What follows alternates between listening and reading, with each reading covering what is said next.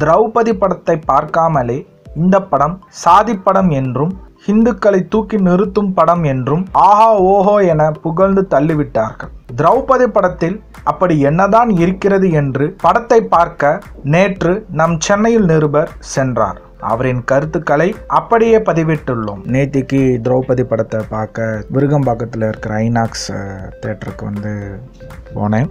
கூட்டம் வந்து பெரும்பாலும் நிறைய பேர் வந்து இருந்திருந்தாங்க. அதில் வந்து கருணாஸ் நடித்ததுனால ஒரு திரௌபதி படத்தில் கருணாஸ் வந்து ஒரு வக்கீல் வேடத்தில் வர்றார். அதனால் வந்து அந்த தேட்டரில் வந்து முக்குளத்தோர் கட்சியினர் வந்து பெரும்பாலும் இருந்தாங்க. பெரும்பாலும் ஹிந்துக்கள் தான் அதிகமாக தேட்டரில் வந்து அமர்ந்திருந்தாங்க. படத்தை வந்து ஸ்டார்டிங் வந்து ஓப்பனிங் கொஞ்சம் மெதுவாக தான் போச்சு. அவ்வளோ பெருசாக ஒரு ஈர்ப்பு ஒரு பரபரப்பு அதெல்லாம் கிடையாது. ஹீரோ மட்டும் நமக்கு வந்து ஒரு அவர் ரொம்பலாம் பரிச்சயமான ஒரு முகம் கூட கிடையாது. ஆனாலும் ஹீரோ வந்து நமக்கு ரொம்ப நெருக்கமான ஒரு ஹீரோ அப்படிங்கிற மாதிரி இருந்தார்.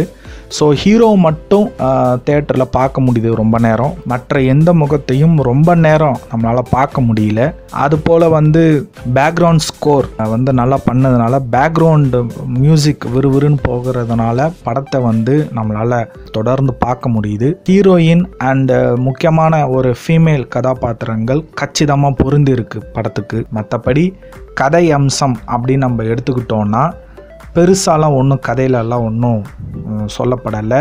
ஒரு ஆணித்தனமான கதைக்களம் இல்லை படத்தில் அப்படின்னு தான் நம்ம சொல்லணும். ரிஜிஸ்டர் ஆஃபீஸில் முறைகேடான ஒரு பதிவுகள் நடக்குது அப்படிங்கிறத படம் வந்து காட்டியிருக்கு. இதில் வந்து ஜாதியோ மதத்தையோலாம் படம் வந்து காட்டலை.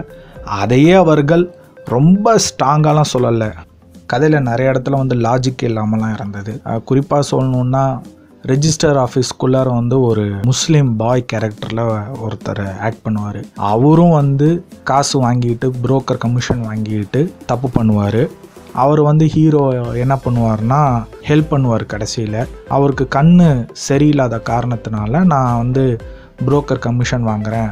அந்த காசை வந்து நான் சேர்த்து வச்சு நான் கண் ஆப்ரேஷன் பண்ணிக்கணும் அப்படிங்கிற மாதிரி ஹீரோட்ட சொல்லுவார். ஹீரோ வந்து இந்த மாதிரிலாம் தப்பு பண்ணாதீங்க. நான் உங்களுக்கு ஹெல்ப் பண்ணுறேன் அப்படின்ட்டு காசை வந்து கொடுப்பாரு. கதையில் வந்து இவருக்கு வந்து தப்பு பண்ணியிருப்பார். ஆனால் இந்த முஸ்லீம் கேரக்டருக்கு மட்டும் தண்டனை வந்து ஹீரோ கொடுக்க மாட்டார். ஆனால் ஒரு ஐயர் கேரக்டரில் ஒருத்தர் ரிஜிஸ்டர் ஆஃபீஸில் இருப்பார். அவர் பணத்தை வாங்கிட்டு கையெழுத்து போடுவார். அவரை வந்து ஹீரோ வந்து தண்டிக்கிற மாதிரி கதை வந்து போகும். ரெண்டு பேருமே வந்து தப்பு பண்ணியிருக்காங்க தான் அவரும் வந்து காசை கமிஷன் வாங்கிக்கிட்டு புரோக்கர் வேலை பார்க்குறாரு அந்த முஸ்லீம் கேரக்டர். இவர் வந்து காசை வாங்கிட்டு கையெழுத்து போடுறாரு. இவருக்கு கதையில் வந்து அவருக்கு கண்ணு ஒரு கண்ணு தெரியாமல் இருக்குமா?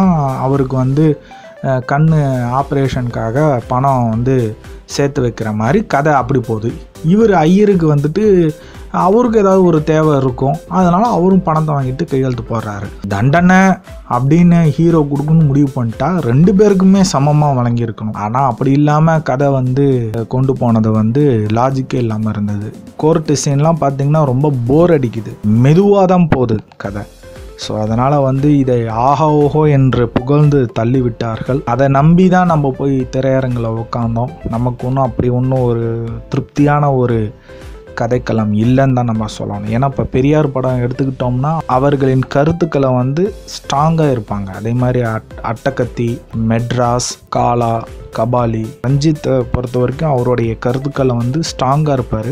அதே மாதிரி மாரி செல்வராஜ் பரியேறும் பெருமாள் வெற்றிமாறன் அசுரன் திரைப்படத்தையும் திரௌபதி திரைப்படத்தையும் கம்பேர்லாம் பண்ணாங்க. துளி கூட கம்பேர் பண்ண முடியாத ஒரு கதைக்களம் தான். ஓவரால் பார்த்தோம்னா திரௌபதி படத்தில் எதிர்பார்த்த அளவுக்குலாம் ஒன்றுமே கிடையாது. ஸோ இதில் வந்து ஹிந்துக்களை வந்து உயர்வாக பேசியிருக்கிறாங்க அப்படிங்கிற ஒரு கருத்தெல்லாம் நிலவுது. அதுவும் கிடையாது. மறைமுகமாக ஒரு குறிப்பிட்ட சமூகத்தினரை மட்டும் மறைமுகமாக தான் தூக்கி இருக்கிறாங்க அதை தான் நம்ம வந்து தவறாக எனக்கு படுது ஏன்னா டைரக்டாக நீங்கள் சொல்ல இயக்குனர் சொல்ல வேண்டிய கருத்துக்களை நேராக சொல்ல வேண்டுமே தவிர சுற்றி வளைத்து ஒரு கருத்துக்களை வந்து இயக்குனர் சொல்லியிருக்கிறார். அதைத்தான் நம்ம வந்து இங்கே பதிவு செய்கிறோம். நன்றி வணக்கம்.